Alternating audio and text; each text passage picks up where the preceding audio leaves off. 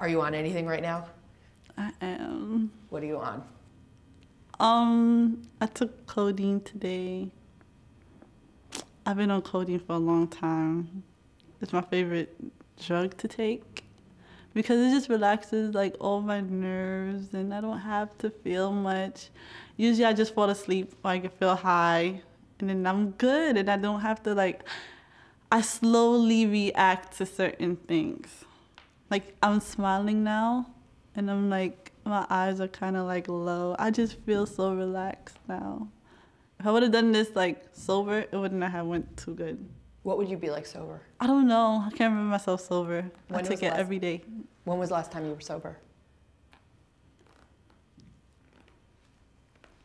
Oh my god.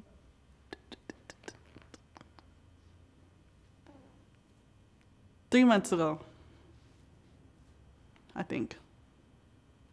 I wouldn't really consider that me being sober because I was still drinking and I was still smoking.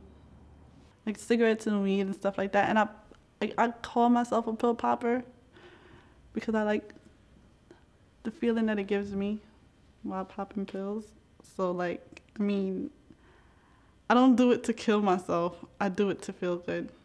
I had stole my mother's prescribed medication of codeine. So after I stole that, I started taking it every day and it just made me feel better about myself. And it started off with half because I did I was scared of the effects of codeine. So I started off cutting them in half. And then I started taking a whole. And then the whole turned in a whole and a half. And Then turned into two. And then my two turned into two and a half. So I take two and a half every time. Twice a day. I usually take it before I'm going to bed and I take it as soon as I get up. So like I'll give myself like a three hours before I go to bed. I'll take it.